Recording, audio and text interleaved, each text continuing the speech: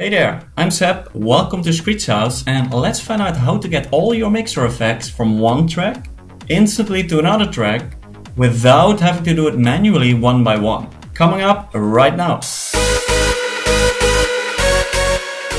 You know what's really annoying? Let's say if you have a bunch of carefully designed mixer effects that you need to copy to a new track, but FL Studio says, screw you, you're on your own. Now, you could go ahead, insert each effect manually and replicate its settings one after the other. But th this is a huge pain in the ass, it sucks all your time and therefore destroys your motivation to continue.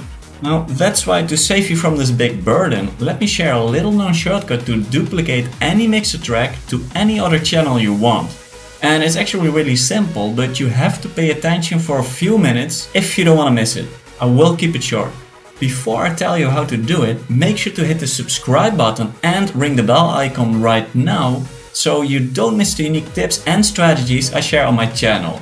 Just take a second because I'd love to welcome you to the club.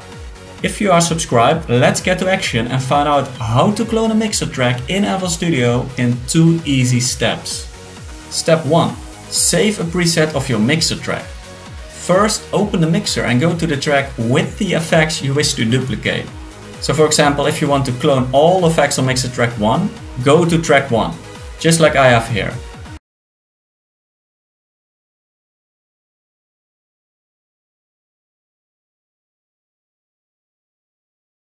Now simply right click on that track, select File and click on Save Mixer Track State As. By saving a mixer track state, you can actually create a preset of your entire mixer channel. So all the settings of that channel, including the effects, will be saved in a little file called an FST file. And finally, select a location on your hard drive to store this file. So give it a catchy name and click Save.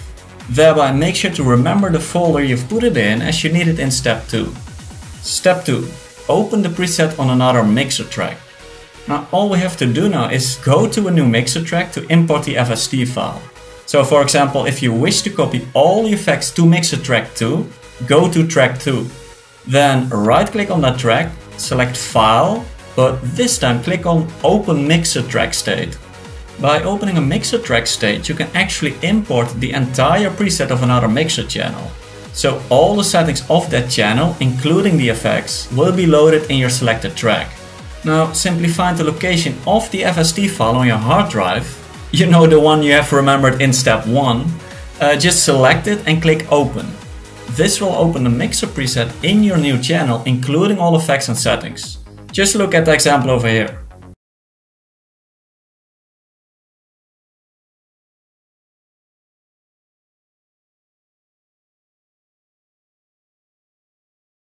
Mission accomplished! Channel 2 is now an exact copy of channel 1 and we have found a way to duplicate an entire mixer track including effects without redundant manual labor. I hope that saves you a big burden and do you know what else will? Taking an ultimate shortcut to FL Studio when you're just starting out. Why waste time to figure out everything on your own when you can easily cheat your way through it?